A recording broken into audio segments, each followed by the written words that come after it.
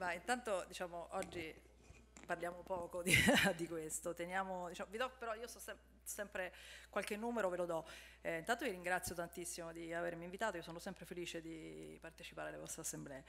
Um, ho preparato 4-5 slide per dare un po' di numeri diciamo, sullo sport in Europa e in Italia, cose che voi conoscete perfettamente, ma le uso semplicemente per, per poi parlare un po' del valore sociale di quello che fate sui territori, che poi era questo che, di cui eh, ragionavamo anche con Vincenzo. Per cui se devo chiedere alla regia di mandare le slide, sono 4-5, non vi preoccupate, non è una roba pesante.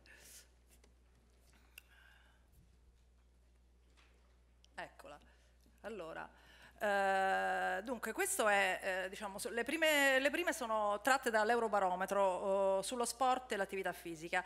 L'Eurobarometro ha fatto un survey, un'inchiesta, un po' come quella che abbiamo fatto, una parte di quella che abbiamo fatto noi con questionari a cittadini dei 28 paesi, noi l'abbiamo fatto con voi, abbiamo chiesto una serie di cose sull'associazione, loro l'hanno fatto eh, chiedendo eh, sulla, diciamo, informazioni sulla pratica sportiva. I dati, come vedete, diciamo, non è che siano proprio fantastici, a fronte di un bel 7% di sportivi regolari, eh, che è in testa alla piramide, abbiamo un 40% che pratica sport una volta a settimana e poi c'è un 46% degli europei che è totalmente sedentario, cioè il 46% dei cittadini europei che non fa assolutamente nulla eh, in termini di movimento. Eh, una percentuale che peraltro è in crescita rispetto a invece al precedente survey sempre di Eurobarometro che era di 5 anni prima del 2013 e questa percentuale si attestava al 42%, quindi sono molti di più gli europei che non fanno nulla. In questa classifica l'Italia è diciamo, abbastanza fanlino di coda, noi nella classifica 28 ci dichiariamo, perché vi ricordo che questo è quello che eh, i cittadini europei dicono di fare, ci, di, ci dichiariamo 23esimi, quindi dopo di noi abbiamo soltanto la Romania, il Portogallo, la Grecia e la Bulgaria, quindi un dato abbastanza preoccupante. Eh, possiamo passare alla prossima. Ok. Eh, c'è una grande disparità fra gli uomini e le donne. Nel complesso l'Europa gli uomini risultano più attivi delle donne, abbiamo un 44% rispetto a un 36%. La disparità è particolarmente sentita in un gruppo che invece dovrebbe essere quello che ha maggiore attenzione, cioè il gruppo di età fra i 15 e i 24 anni. Solo il 15% dei ragazzi dichiara di non aver mai fatto esercizio fisico, mentre il 33% delle ragazze lo dichiara. E io qui mi permetto di fare una piccola diciamo, digressione su, su, di voi e sul vostro lavoro e penso a tutto il lavoro che state facendo sulle disuguaglianze di genere, che è un lavoro importantissimo e che tutti sui territori ci avete dichiarato eh, essere un pezzo importante del vostro lavoro extrasportivo. Eh, il divario si restringe con l'aumentare dell'età, è molto interessante questa cosa, nella fascia over 55 la maggior parte degli uomini e delle donne non pratica sport, un 58% e un 64% rispettivamente, quindi diciamo si fermano eh, eh, e il divario si, si, si restringe. Un'altra eh, correlazione interessante, possiamo passare alla prossima slide, è quella sull'istruzione, che è un dato anche questo molto interessante, fra l'istruzione e la frequenza dell'esercizio sportivo.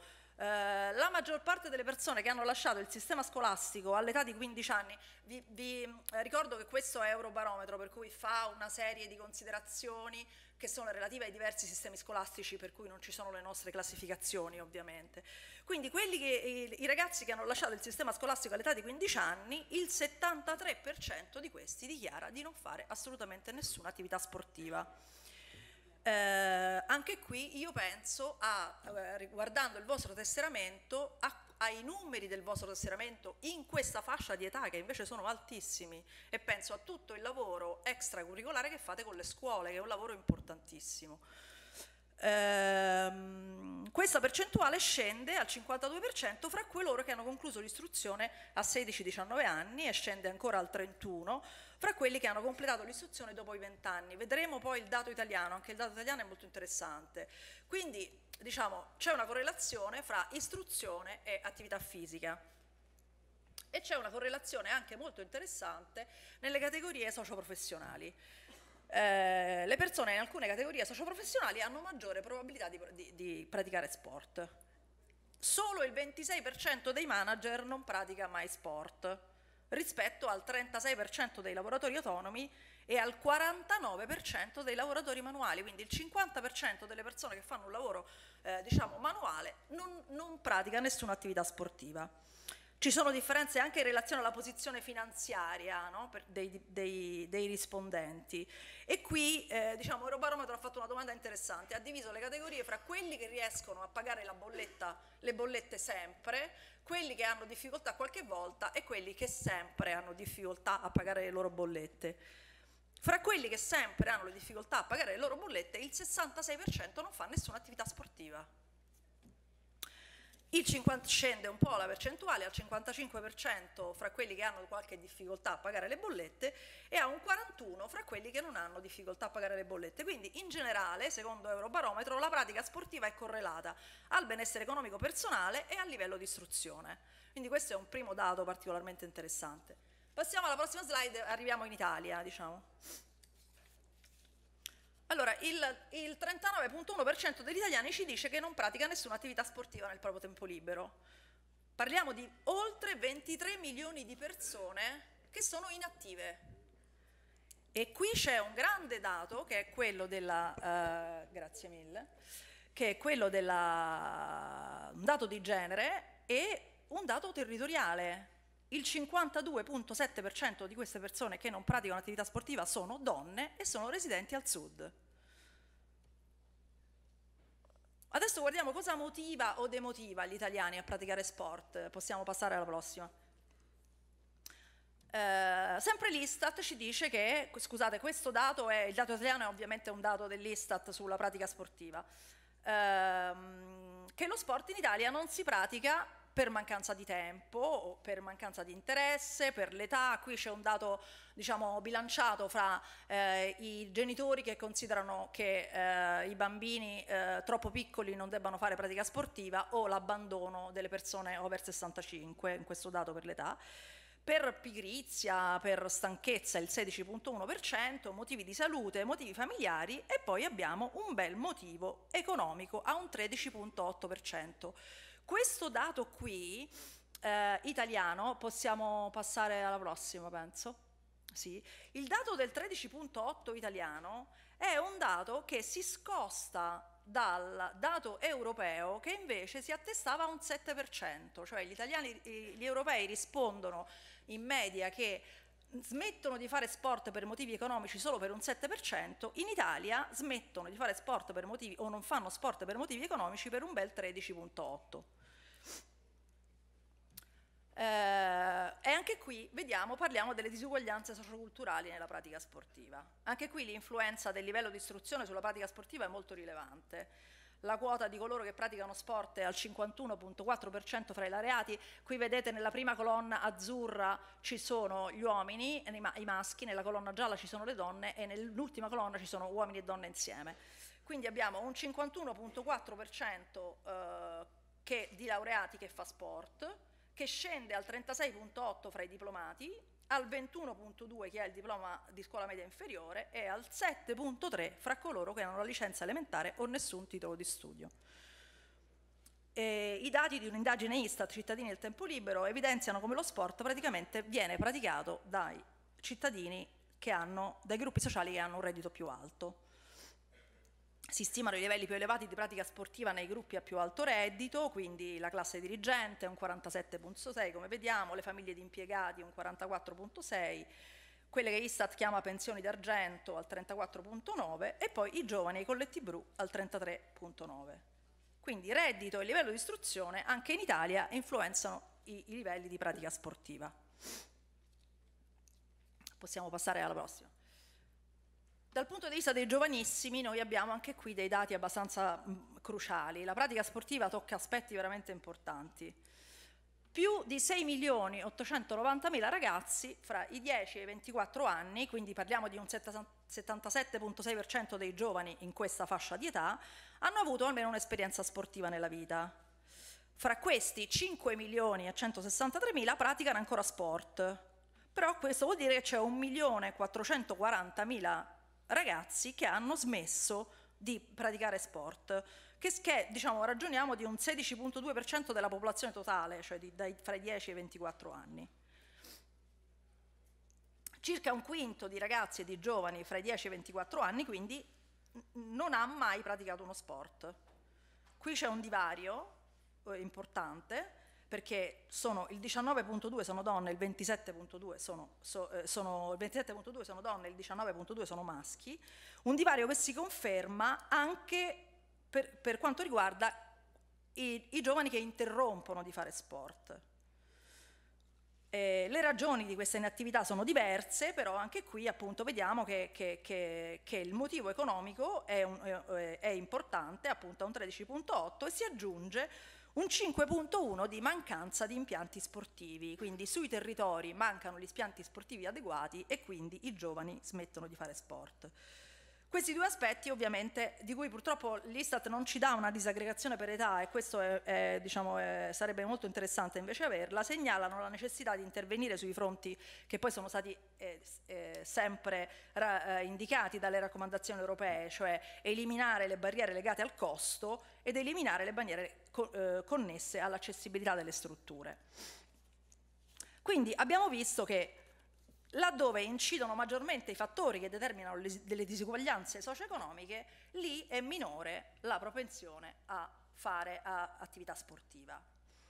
Eh, diciamo, queste eh, disuguaglianze economiche, ovviamente sociali eh, e di riconoscimento, economiche quindi disuguaglianze di reddito, di lavoro, di ricchezza privata, di povertà, ma anche sociali, cioè di accesso ai servizi, di qualità o di fiducia nei servizi pubblici, nei servizi essenziali, o di riconoscimento, cioè riconoscimento di ruolo, di valori, di cultura, di aspirazioni della persona.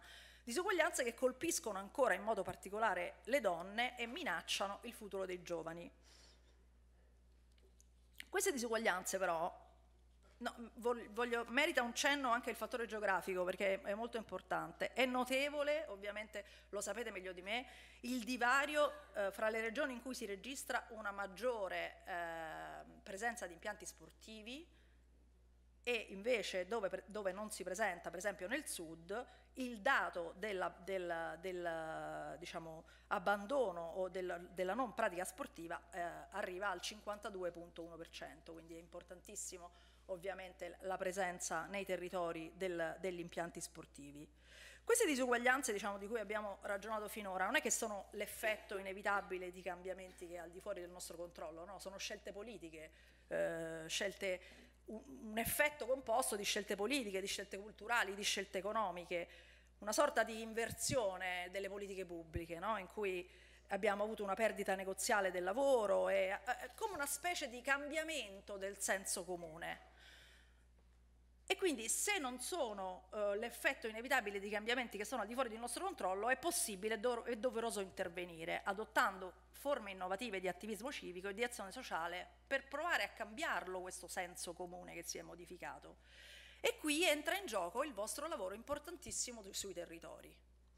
Perché quello che noi abbiamo eh, diciamo, trovato è che svolgete un ruolo molto significativo nei processi di trasformazione sociale il vostro lavoro sui territori ha la capacità di valorizzare le potenzialità delle persone che praticano sport, perché è, come diceva prima il Presidente, anche un grande dispositivo di, di, di, di coesione sociale, un aggregatore naturale, perché attraverso lo sport si creano nuove relazioni di comunità. E questo è stato evidente nella nostra valutazione. Gli spazi dello sport sui territori di WISP sono luoghi dove i bisogni, i desideri, le competenze di ciascuno possono emergere e non è così comune trovare, soprattutto in alcuni territori, spazi in cui questo è possibile, in cui le persone, i singoli o i gruppi possano esprimere le loro necessità e i loro bisogni e cercare di trovare delle soluzioni concordate a questi bisogni. Ehm, quindi le persone diventano risorse, i gruppi diventano risorse in questi spazi e, e le comunità diventano delle palestre per creare una nuova capacitazione delle persone. Le persone si formano, si formano a un civismo attivo, si formano a prendersi cura di se stesse, dei gruppi e della comunità. Questo è quello che noi abbiamo trovato che voi fate sui territori. Quindi lo sport eh, rigenera gli spazi e le relazioni di comunità ed è un'occasione di coesione sociale e di, rigener di rigenerazione urbana. Abbiamo visto infatti che voi con il lavoro sui territori sperimentate quanto l'attività fisica e motoria praticata in un modo diffuso nello spazio urbano, quindi anche al di fuori dei luoghi tradizionali dello sport, offra anche una, motivi di risignificazione di quei luoghi, per cui si trasformano anche i luoghi attraverso il vostro lavoro. Lo sport sociale che produce inclusione è quello che sa prendersi cura del territorio, della comunità, delle persone, che è quello che voi fate. Quindi il famoso ragionamento che facevamo all'inizio, diciamo, eh, sulla quale abbiamo costruito la nostra valutazione, delle due anime di WISP, l'anima sportiva e l'anima sociale, nei territori, soprattutto in alcuni territori, poi vi, vi, vi do un'indicazione anche del perché, queste due anime sono un'anima sola, sono l'anima dello sport sociale.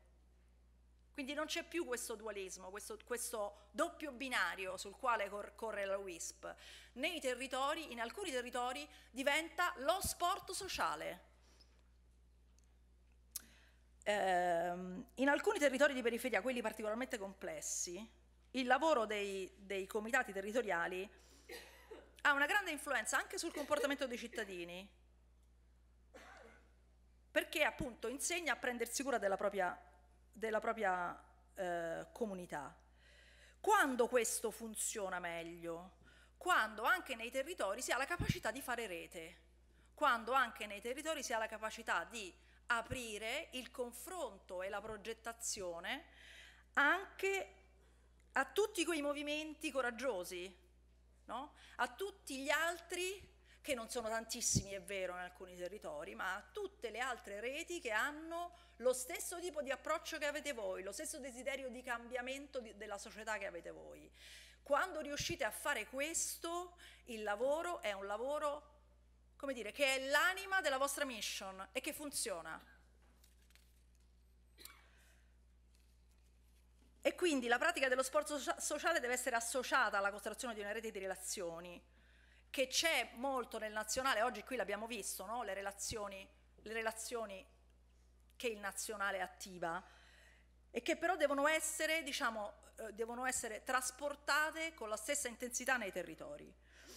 Ehm, la costruzione di questa rete di associazioni, di relazioni con altre formazioni sociali del proprio territorio e, anche con altre zone della, della, delle città, integrando le periferie con i centri, perché anche questo è un grande, un grande lavoro da fare.